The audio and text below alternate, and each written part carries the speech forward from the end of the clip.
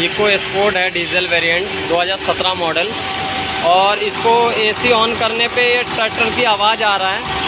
इसका ये अर्जेस्टर ख़राब है. अर्जेस्टर और बेल्ट ये चेंज करते हुए दिखाऊँगा ये एसी में बहुत ज़्यादा नॉइस नज़र आता है. जैसे कि आप देख सकते हो, मैंने ये अर्जेस्टर खोल लिया है. डैको का अर्जेस्टर है और ये फ़ैन बेल्ट है. फ़ैन बेल्ट जो इसके अंदर डलेगा एक हज़ार तीस नंबर है सिक्स पी के। और ये टैको का आपका अर्जेस्टर है, जो ट्रैक्टर की आवाज़ आ रहा था, इसके लिए बदल रहा हूँ। और ये जो आपका अर्जेस्टर का जो प्राइस है, वो राउंड आपका अठारह सौ उन्नीस सौ रुपये का है। उन्नीस सौ रुपये का है अर्जेस्टर का प्राइस और आपका बेल्ट का जो प्राइस है, वो साढ़े चार सौ रुपये के आसपास। ये पार्ट डालेंगे।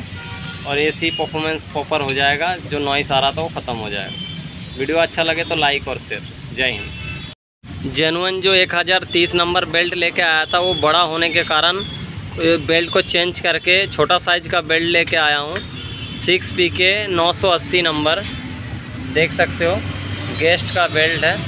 ये डाल डाल दिया मैंने। अब ये परफेक्ट हो गया। मैं आपको दिखा देता हूँ। ये दिख रहा